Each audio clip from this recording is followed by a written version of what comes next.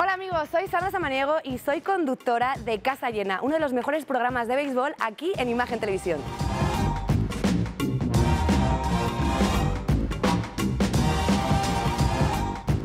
Me empezó a gustar el béisbol desde que era chiquitita, no recuerdo muy bien a qué edad fue porque en realidad fue que mi familia, yo tengo familia americana, tengo un tío que es americano, que se casó con mi tía que es española, entonces mis primas jugaban softball de niñas y yo me acuerdo que mi madre nos había apuntado a básquet y mi hermana y yo jugábamos básquet, pero mis primas jugaban softball.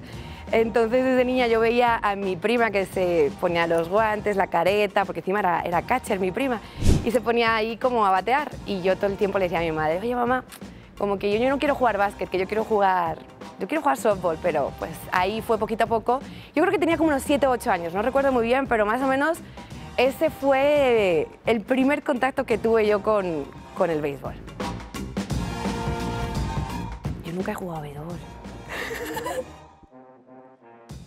Yo siempre quería jugar béisbol o softball, bueno, mejor dicho, quería jugar softball, pero donde yo vivo, que es, o sea, donde yo vivía, que es Madrid, para yo poder jugar había que hacer tres horas de, tres horas de viaje para que mi madre me llevara a un campo, porque en España no hay tantos campos. A lo mejor aquí en México, en diferentes zonas de México, por ejemplo en el norte, yo sé que en cada barrio hay dos o tres campos de béisbol, entonces ahí era muy fácil, pero donde yo vivía no era tan fácil. Y aún así, pues yo seguí aficionándome y, y, viajaba a Estados Unidos a ver a mis primas y yo lo primero que quería era ir a un estadio de béisbol, pero no he jugado nunca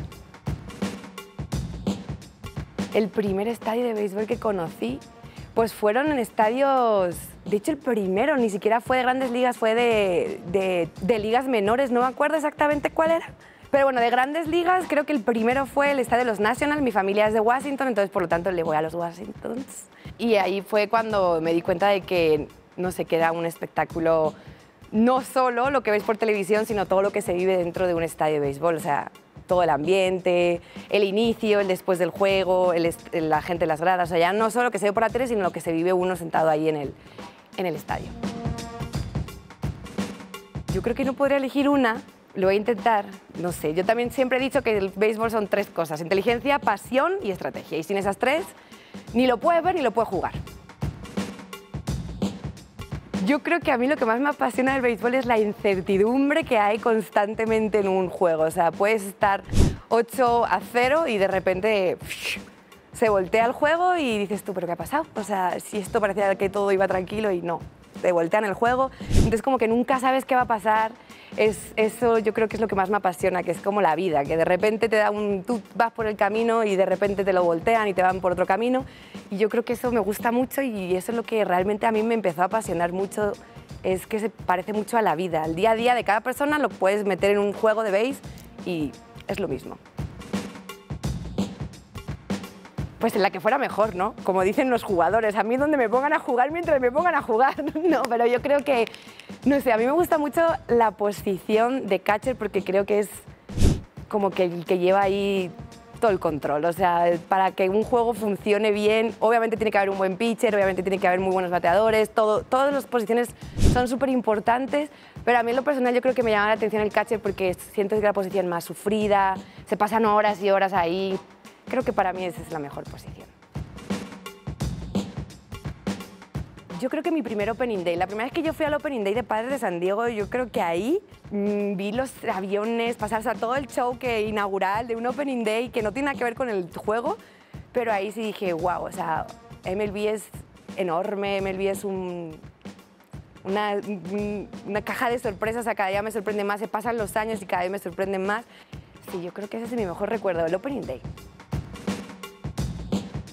Yo creo que la más importante, no sé, porque espero tener muchas entrevistas muy importantes a lo largo de mi carrera, ¿no? pero la más especial de momento ha sido la de, la de Benjamín Gil con, con México, con la selección mexicana en el Clásico Mundial de Béisbol, porque yo creo que ahí estaba todo México emocionados, nosotros estábamos emocionados, estaban haciendo historia, México estaba haciendo historia en el deporte, Benji estaba súper emocionado y yo sé que yo también estaba emocionada, entonces todo lo que él dijo, todo lo que transmitió a todo a todo México, a todos los fanáticos del béisbol y a los nuevos fanáticos que estaban empezando a seguir el béisbol a través del clásico.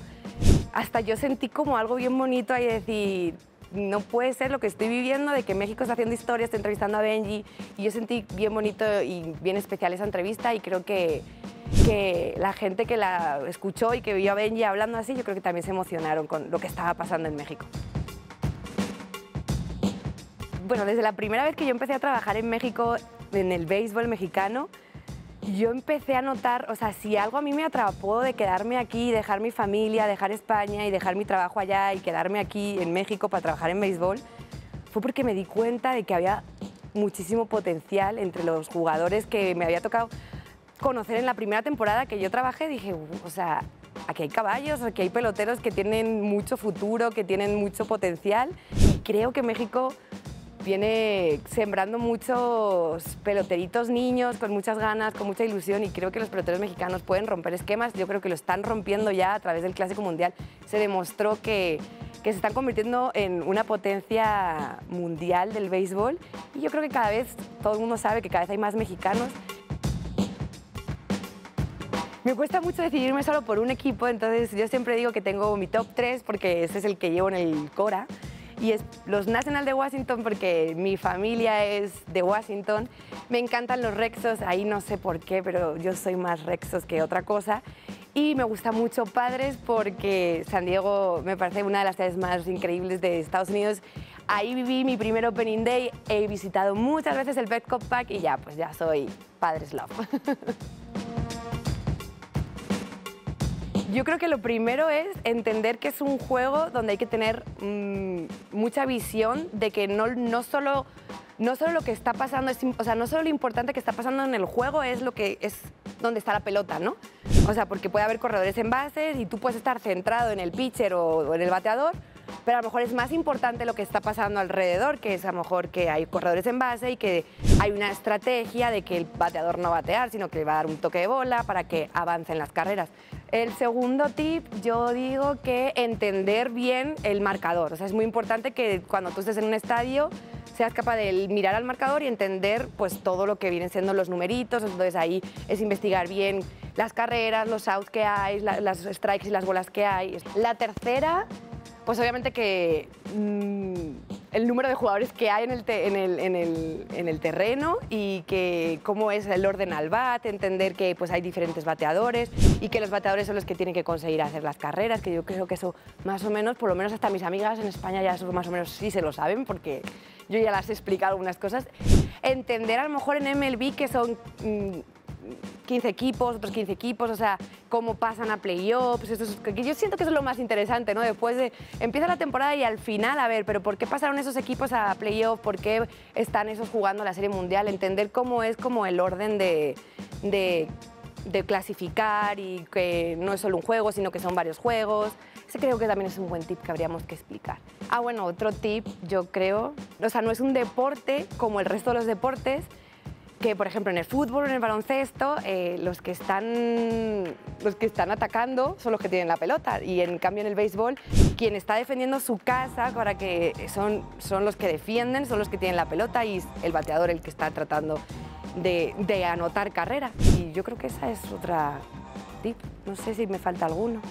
Hola, soy Sandra Samaniego y te invito a que te enamores del rey de los deportes porque tenemos juegos de grandes ligas sábados y domingos en la Casa del Béisbol en un programa muy especial que se llama Casa Llena, así que no te lo puedes.